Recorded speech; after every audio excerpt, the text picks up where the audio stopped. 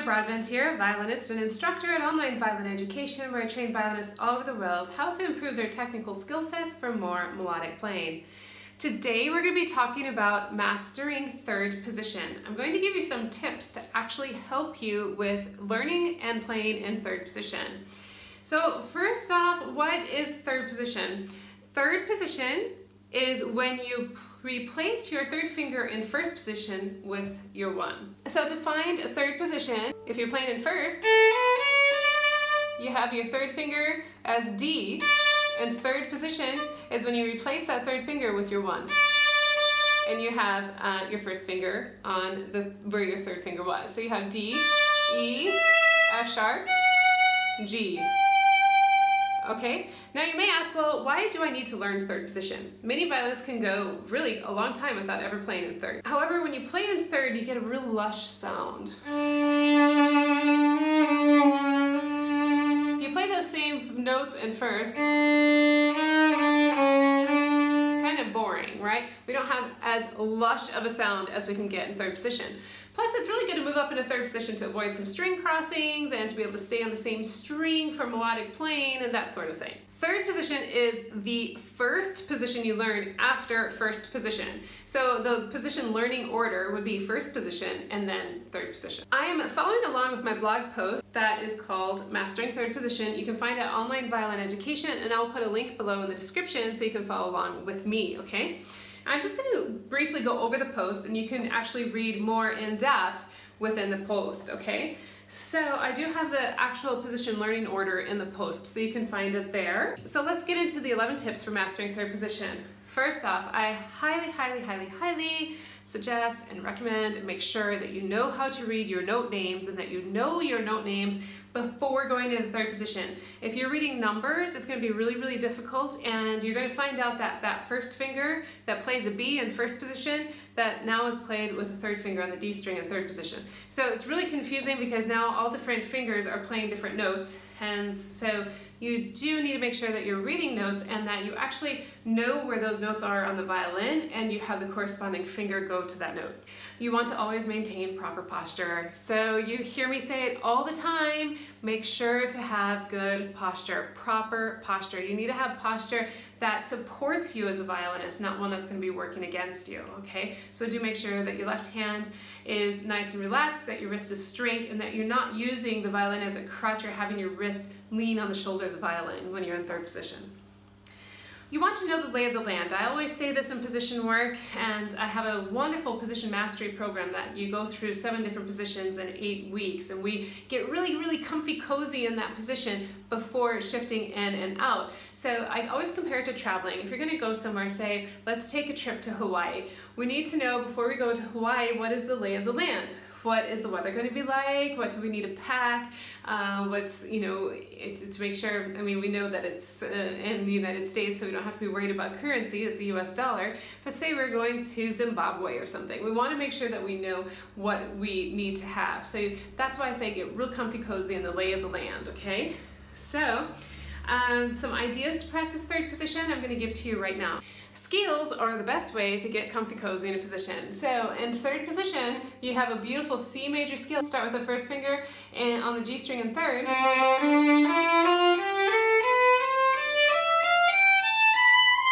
And you can play a beautiful C major scale across the instrument. Now, when you do that, you want to think your note names. So C, D, E, F, G, A, B, C, okay? And then on the way back down to think your note names. So C, B, A, G, F, E, D. Okay, so you know your note names when you're walking backwards on the scale. That's always the most challenging for my violinist students whenever I ask them. They're like, oh yeah, they made it up to scale saying the note names, but as soon as they have to go backwards, it's really a challenge. The next thing I would suggest are broken thirds. Now, what are broken thirds? Sounds kind of funny because they're broken, but a third basically is an interval of a third where like in first position we would have C on the bottom and E on the top. That's a third. C, D. So one, two, three, one, two, three, that's your third. Okay, so if we're going up into, uh, say, for example, what we're doing right now is playing in broken thirds, that means that we're not playing them together. So they're separate. So we have C, E, D, F, E, G, F. Basically leapfrog through the scale, so you skip over one note. That's a broken third. That's a great way to get comfy cozy in a position by learning, by practicing the scales and the broken thirds. I have written out scale and arpeggio exercises for you. Arpeggios are also very good to do. Uh, and, and, exercise books in different positions with different keys. So there is a, an exercise book for C major scales and arpeggios in third position and D major as well, actually, I do believe. So you can find that. I'll leave a link below and you can check it out. It's at onlineviolineducation.com Academy Books, and you'll find it there. So as we're continuing on in our tips, you always want to listen to your pitches that they're truly in tune, okay? So if you ever have what I call the fuzzy, the fuzzy head practice syndrome, it's time to take a break. You don't want to ever have a fuzzy head when you're practicing. You really want to listen to your pitches, to be aware, and to be mindful, okay? You want to listen that every pitch rings true, that we have this gorgeous, gorgeous ring. And in third position, you'll have pitches that will ring. Every position, you'll have pitches that will ring. Anywhere on the violin, we always have pitches that will really, really ring when they're in tune. Okay? So if you ever have a question, if you're in tune or not, compare your pitches to first position. So go play in first position and head back over to third position and play in third you really need to know your fingers to the notes. So know your note names as previously discussed and what finger plays what note. Quiz yourself. Ask yourself, how do I play F sharp and third position? What string, what finger, okay? And uh, if you need to, make some flashcards for yourself to help you along. Always know your finger relationships. Now this doesn't matter in whatever position you're in. If you're in third position, seventh position, eighth position, doesn't matter. You need to know your finger relationships. What do I mean by finger relationships? To know where your fingers touch. Where are the half steps? Where are the whole steps? Okay? And also to know how they relate across the instrument.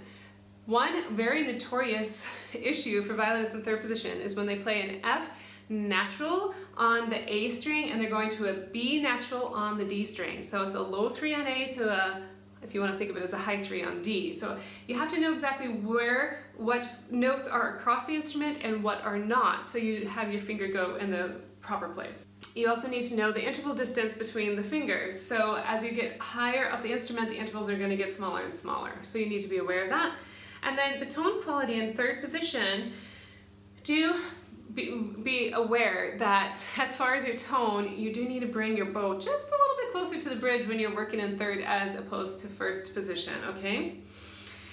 And that really pretty much covers the mastering third position uh, tips.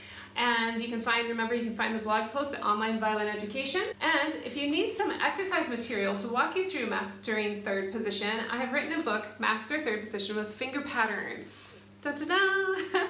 Now this book is 100% downloadable. If you wanted to go to the website and buy this book right now, you can have it in your hands in like less than five minutes, I'm sure. You just have to buy the book and you can just It'll take a little bit of time to print, but you'll be able to, if you don't want to print it, you'll be able to access it immediately and work off your tablet, your iPad, your computer, your laptop, however you want to view it, you have immediate access to this book. Now if you want to take it to the printer and print it up like I did with the binding on it, you can go go ahead and do that. And uh, we've made it very printer friendly, condensed it down. So uh, it's uh, 92 pages of wonderful exercises and with some beautiful images actually inside as well, some motivating um, images.